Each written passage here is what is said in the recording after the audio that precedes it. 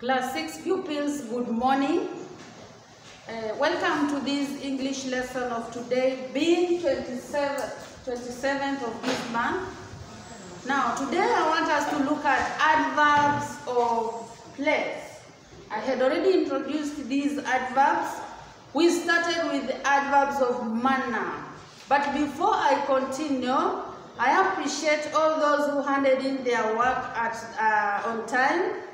But I also want to emphasize something about the adverbs of manner. You came across that word called tight. This is just a by the way. You came across this word tight. Children, the word tight, together with this word tightly, they are both adverbs of manner. But it depends with the way they are being used in the sentence. For example, how do I use tight as an adverb in a sentence?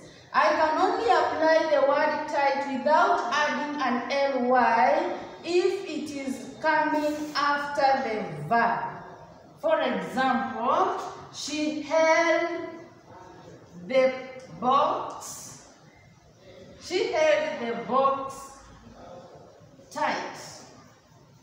This is how we are going to use our tight.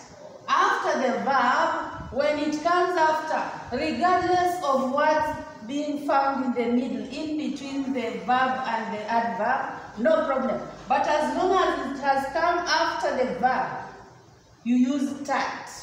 How do I use or at what time to, do I use tightly? If the, this adverb or the verb has already been mentioned before the adverb. For example, she tightly held the box. You find that before the verb, you put tightly.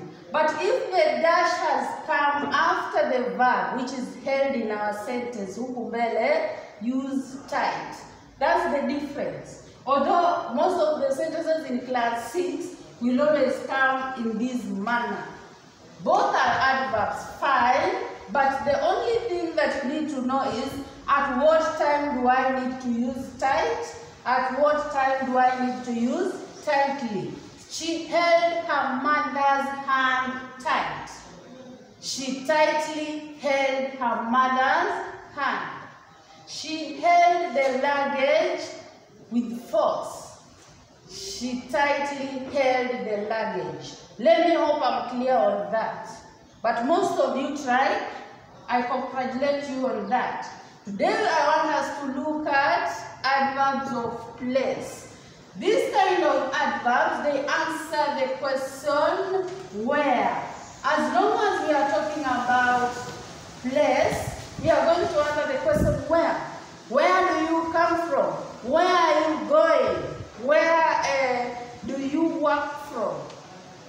Uh, such kind of questions. As long as you are answering the question where, you are giving the adverb of place. Remember I said an adverb is a word that adds meaning to a verb. We are describing the verb using an adverb. But, but today we are going to look at adverb of place. And I've said they answer the question where. For example, I want to talk about these technical words, small technical words that we've always been assuming. The word school is a noun, fine. Because back at home there, when I ask you, name for me examples of common nouns. One, school, we have home, we have market, all those are common nouns. Remember what I said about common nouns, the ordinary names. If you become specific, then you are giving the proper nouns. That is just a by the way. This word school is a noun, but it depends on the way it has been used in a sentence.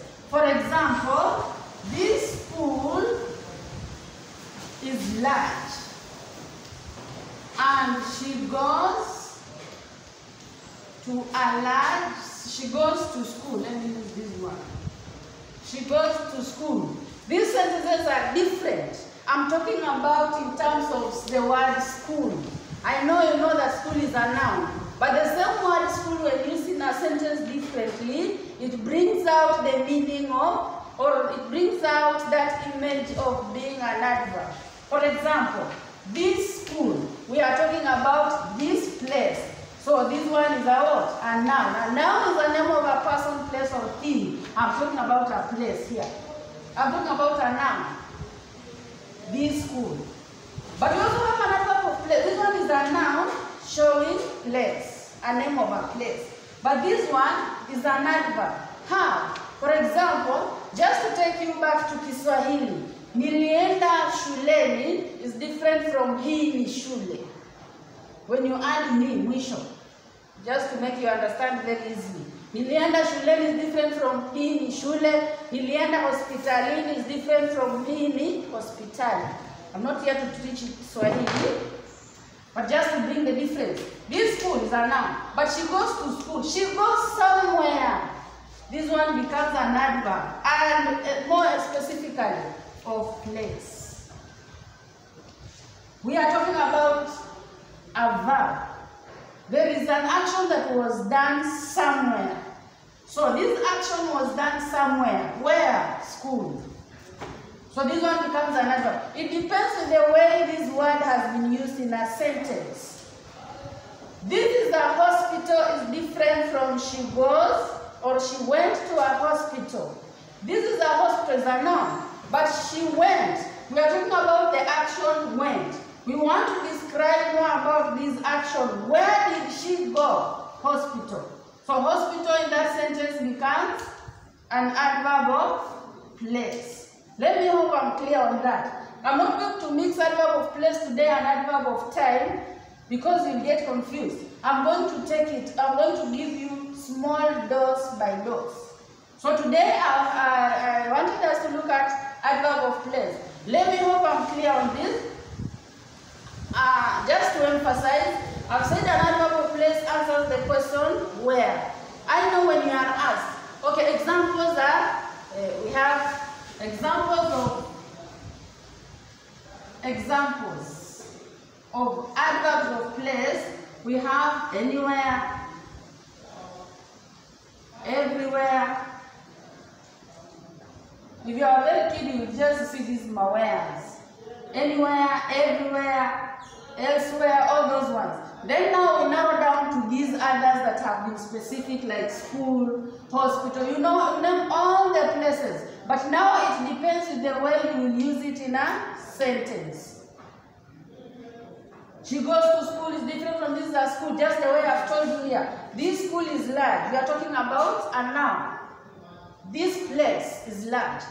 When we use a verb to describe, or when you use an adverb now to describe this verb, then the, the, the, the school, the noun now, this school, this noun in this sentence becomes now an adverb of place in this kind of sentence. This school is large in now. But she goes to school. As as an adverb, a verb appears, she went to school. That one becomes an adverb of place. Other sentences can be, she went to the hospital to see a doctor. It's different from that hospital or that hospital is clean. She went to a clean hospital. She went to a clean hospital.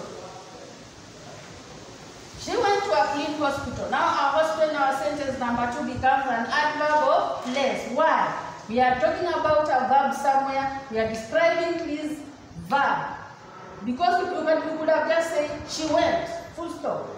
But now if you are adding more, you are talking more about this verb. Then the noun here, the one you already know that's a commoner, becomes now an adverb place. But that hospital is clean. This one is that place is clean. This one is a noun, a name of a person, place, or thing. So in this context, in this sentence, this one is a noun. But when it comes to this one, when a verb appears first, then it becomes a adverb of place. Children, that is that marks the end of our today's lesson. I'll send you some more homework and kindly do it and submit it on time. It is my work to mark and to mark also on time. If you fail, just do correction.